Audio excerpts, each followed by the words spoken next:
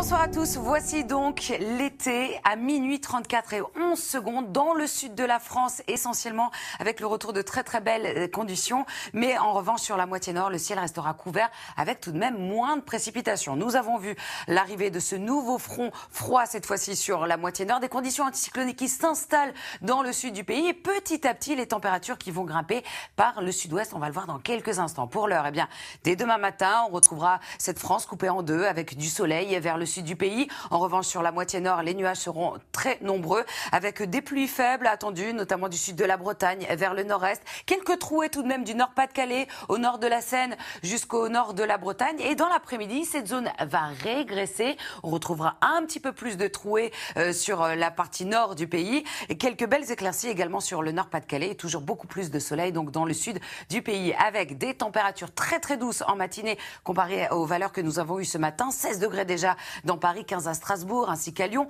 11 degrés du côté d'Aurillac et 18 degrés à Nice. Et dans l'après-midi, enfin, nous allons atteindre les 30 degrés dans le sud-ouest, notamment à Toulouse ou encore à Marseille. Des valeurs 2 à 3 degrés encore en dessous des moyennes de saison sur la moitié nord, avec 21 seulement à Paris ou Rennes, 18 degrés à Cherbourg, c'est la minimale, 22 à Dijon ou encore Strasbourg. Alors, la suite du programme, des températures qui vont continuer à grimper pour les journées de mercredi et de jeudi. Mercredi, nous allons dépasser les 35 degrés dans le et jeudi, eh bien, on retrouvera des valeurs euh, proches des 30 degrés sur pratiquement tout le pays avant une baisse sensible à partir de vendredi. Mais pour l'heure, eh bien, euh, pour la journée de mercredi, c'est le soleil qui va s'imposer sur les trois quarts du pays. On retrouvera juste dans l'après-midi cette petite tendance orageuse qui va se mettre en place sur la Bretagne, les pays de la Loire, vers l'extrême nord du pays, euh, ainsi que sur les Alpes. On aura un ciel plus nuageux également sur le massif central.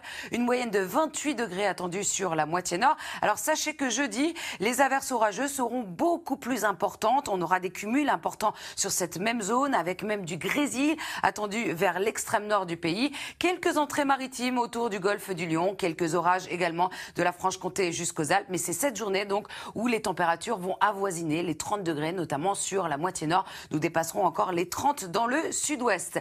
La suite, eh bien, à partir de vendredi, le temps sera un petit peu plus instable. Des Pyrénées jusqu'en Champagne-Ardenne. À l'avant, on gardera encore de très bonnes conditions météo. Cette dégradation qui va avancer dans les terres et à l'arrière de cette dégradation, les températures vont baisser. Nous serons dans des valeurs de saison avec un ciel plus ou moins mitigé. Euh, Je vous souhaite à tous une excellente soirée, mais je vous retrouve dans quelques instants pour la météo des plages.